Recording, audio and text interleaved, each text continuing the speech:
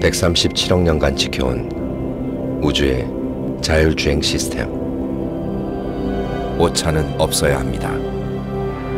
그곳에 생명이 있으니까요.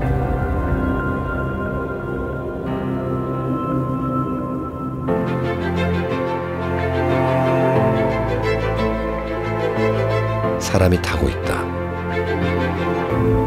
현대 모비스.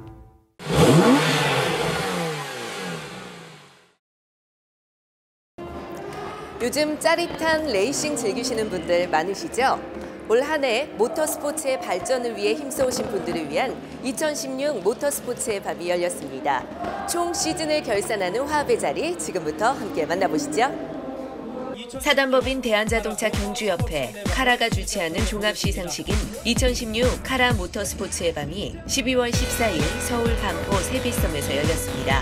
이 자리에는 모터스포츠계에서 뛰어난 활동을 펼친 정상급 드라이버와 레이싱팀 및 관계자 400여 명이 자리해 한 해를 결산했는데요. 대한자동차 경주협회 손관수 회장은 환영사에서 올 한 해 모터스포츠는 눈에 띄는 성장을 이뤘다며 격려와 축하의 인사를 나눴습니다.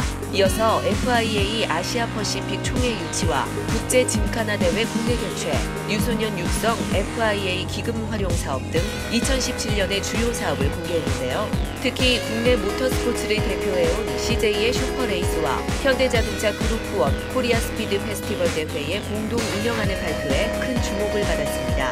카라의 챔피언십 타이틀로 치러지던 양 리그가 힘을 합함에 따라 대회 위상과 참가자 규모 측면에서 모터스포츠 팬들의 이목을 한눈에 집중시킬 초대형 컨텐츠가 탄생하게 된 것인데요. 동일한 성능으로 기량을 겨루는 출전 차량을 상대로 성능을 확인하는 검차 심사위원장을 만나봤습니다.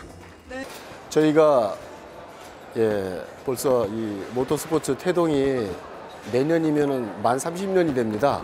생겨가지고 처음 10년은 동호회 형식으로 해가지고서 개인들이 부담을 좀 하고 힘을 모아서 이런 큰 행사를 계속 진행을 했었었는데 저희들이 1996년에 카라라고 하는 그 단체를 만들어서 지금 벌써 20년 장족의 발전을 거듭해 왔습니다. 20년 전하고 지금하고 비교를 하면 규모도 몇십 배가 커졌고 그다음에 드라이버나 팀 관계자, 프로모터 이런 모든 부분들이 저변이 크게 확대가 됐지만 2016년에도 역시 부족한 거는 많이 있다고 느껴집니다. 그래서 2017년은 더 큰 경기로 거듭나기 위해서 모든 사람들이 다 힘을 합쳐가지고 빛나는 큰 대회를 반드시 만들어낼 겁니다. 카라는 공인 경기에서 최고의 활약을 펼친 주인공에게 주는 올해의 드라이버상, 올해의 레이싱팀상, 올해의 오피셜상 등 각 부문 대상에 해당되는 수상자들을 이날 공개했는데요. 챔피언십 타이틀로 치러진 상위 클래스 시리즈 입상자에 대한 협회 차원의 시상식도 진행됐습니다. 이날 대상격인 올해의 드라이버상은 엑스타 레이싱팀 정의철 선수에게 돌아갔는데요. 금호 타이어가 지원하는 간판 드라이버 정의철 선수를 만나봤습니다. 작년에 아쉽게도 놓쳤던 상이었기 때문에 뭐 말로 표현할 수 없을 만큼 정말 많이 기쁜 것 같아요. 네. 당연히 열심히 해야 되는 건 당연하겠지만 저는 사실 어떤 목표를 딱 가지고 했다기보다는 그냥 즐겼던 게 좋은 결과를 낼 수 있었던 것 같습니다. 이제 최고의 자리에 올라왔기 때문에 이 자리를 지키기 위해서 더 열심히 경기에 임할 생각입니다. 정의철 선수는 FIA 인터내셔널 시리즈로 승격한 슈퍼 6000 클래스에 참가해 8라운드 전 경기에서 모두 득점을 올리는 꾸준함을 무기로 시리즈 챔피언 타이틀을 차지한 바 있습니다. 정의철 선수의 소속팀 엑스타 레이싱팀은 올해의 레이싱팀 상까지 수상해 겹경사를 맞이했습니다.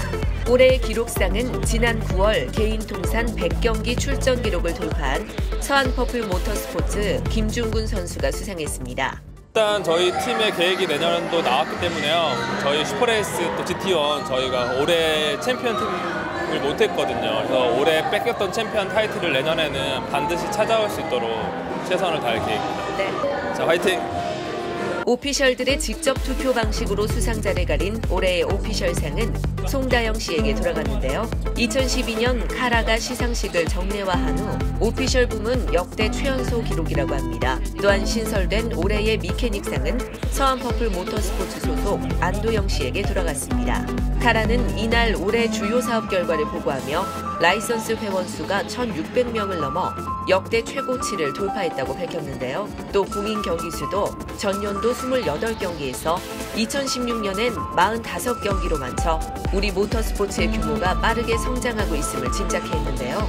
카라 손관수 협회장은 2016년은 카라 설립 20주년이 되는 뜻깊은 해였다며 2017년에는 기존 사업의 안정적인 성장을 도모하는 것은 물론 국제 자동차 연맹 아시아 지역 모터스포츠 총회와 국제 짐카나 대회 유치 등 새로운 활동을 펼치겠다고 밝혔습니다.